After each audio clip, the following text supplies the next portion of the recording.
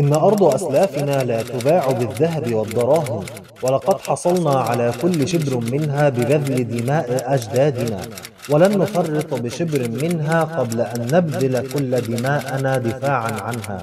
لماذا نترك القدس؟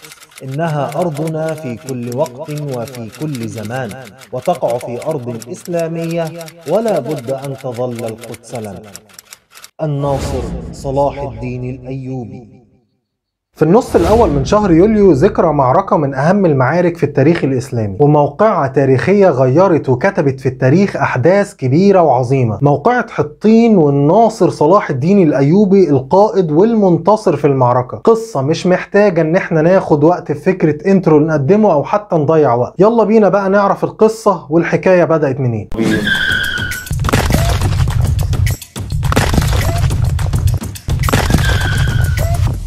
في عام 532 هجري اللي بيوافق 1137 ميلادي وبالتحديد في قلعة تكريت الموجودة في قرية قديمة في بغداد اتولد صلاح الدين ابن يوسف ابن أيوب ابن شازي لعائلة كردية وكريمة الأصل اتعرفت باسم الروادية. والده كان لقبه نجم الدين أيوب من أكبر قبائل الأقراض اللي ملكت الشام ومصر في الفترة دي تحت اسم الدولة الأيوبية. قلعة تكريت كانت من القلاع المحصنة جدا وكانت بتطل على نهر دجلة. الفرس بنوها من فترة قديمة علشان تكون حصن ليهم وكمان مكان للذخيرة. الجدير بالذكر إن القلعة دي فتحت على يد المسلمين أيام الخليفة عمر بن الخطاب في العام 16 للهجرة. صلاح الدين الأيوبي اتولد في يوم حصل فيه حادث غريب. في بداية اليوم أحد القادة الموجودين في القلعة تجرأ على امرأة في شرفها. الأمر اللي خلى شير كوه عم صلاح الدين يقتله انتقاما للشرف والمروءة. بعدها أمر والي بغداد مجاهد الدين بهروز نجم الدين والد صلاح الدين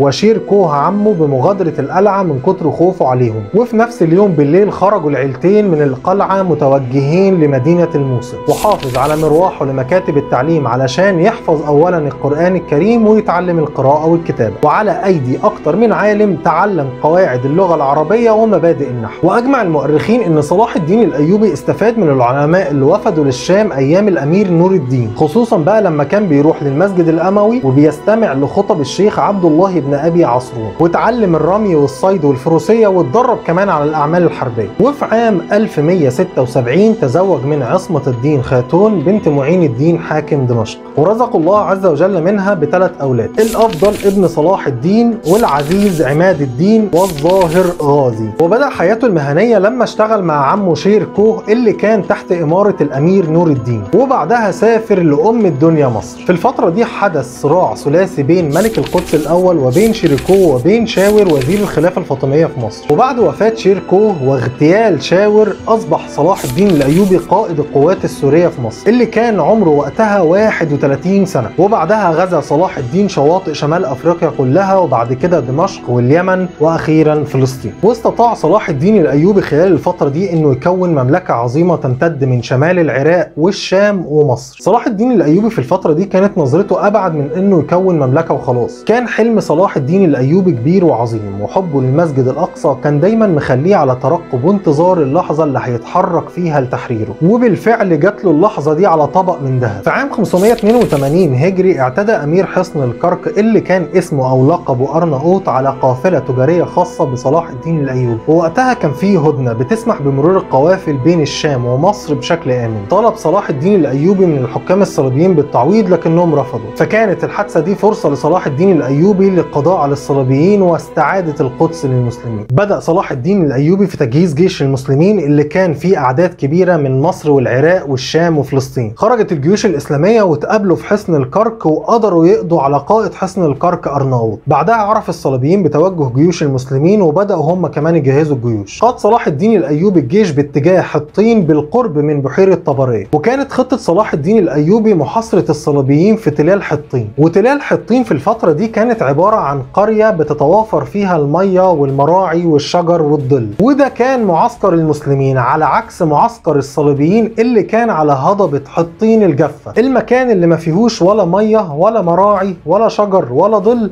على امتداد الطريق. فضل الصليبيين طول الليل من كتر العطش يشربوا في الخمرة بدلا من المية. وبعدها بفكر وبدهاء صلاح الدين الأيوبي حرق كل الشجيرات والأعشاب الصغيرة الجافة على هضبة حطين. الموضوع اللي أدى إلى انهيار معنويات الصليبيين بعد وإحصارهم على هضبة حطين. وفي يوم السبت الموافق 25 من ربيع الثاني عام 583 هجري الموافق 4 يوليو زي الأيام دي عام 1187 ميلادي. كان جيش المسلمين بقيادة صلاح الدين الأيوبي 12000 فارس و13000 من جنود المشاة وعدد كبير من المتطوعين ورجال الاحتياط. وعلى الناحية الثانية القوات الصليبية 22000 بين المشاة وبين الفرسان واتضم ليهم عدد كبير من المتطوعين ووصل عددهم ل 60000 بدأ المسلمين في الهجوم واشتد القتال بين الطرفين. فكان النصر في النهاية حليف المسلمين وكانت بداية لفتح بيت المقدس وتحرير المسجد الأقصى. وبعدها تم الفتح وإنهاء الحكم الصليبي في كافة مناطق العرب اللي كان بيحكمها الصليبيين. وبعدها دخلت قوات صلاح الدين الأيوبي في المدن الساحلية كلها. جنوب طرابلس وعكا وبيروت وصيدا ويافا وقيصرية وعسقلان. والحصون والقلاع استسلمت لحكم صلاح الدين الأيوبي والباقي من قادة القوات الصليبية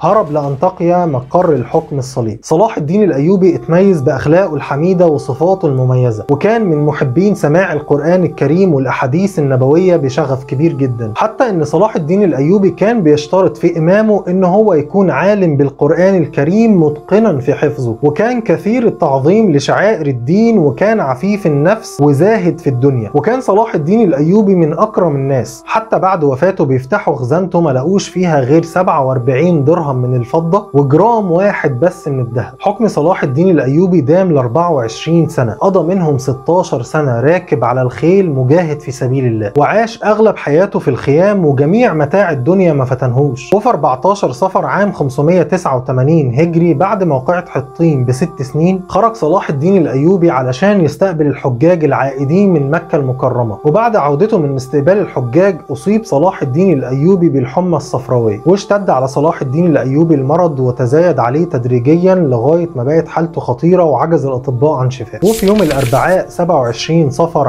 عام 589 هجري الموافق 14 مارس عام 1193 ميلادي. ازدادت حالته خطورة ودخل في غيبوبة ما فاقش منها غير لدقايق. وبعد صلاة الفجر لما فاق من الغيبوبة طلب بإحضار أحد المقرئين لسماع القرآن الكريم. وقرأ المقرئ القرآن لغاية ما وصل لقول الله عز وجل فإن تولوا فقل حسبي الله لا إله إلا هو عليه توكلت وهو رب العرش العظيم.